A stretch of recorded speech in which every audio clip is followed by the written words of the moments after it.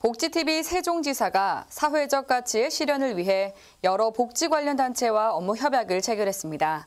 자세한 내용 화면으로 만나보겠습니다. 지역 네트워크 정보 전달을 위해 노력하고 있는 복지TV 세종방송은 대전 세종 지역의 여러 복지 관련 단체와 협약을 진행하고 있습니다.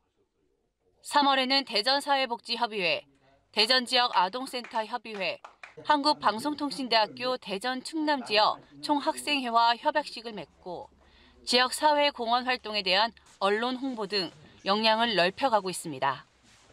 한편 이날 협약식에서는 방송통신대학교 총학생회가 마스크 1,500여 장을 기부하기도 했습니다.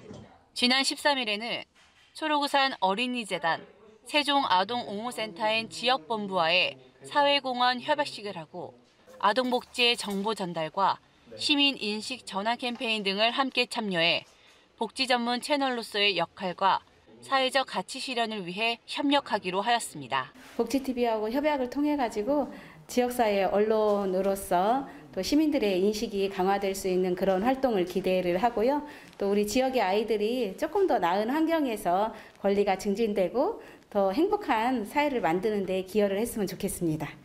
복지TV 뉴스 김유나입니다.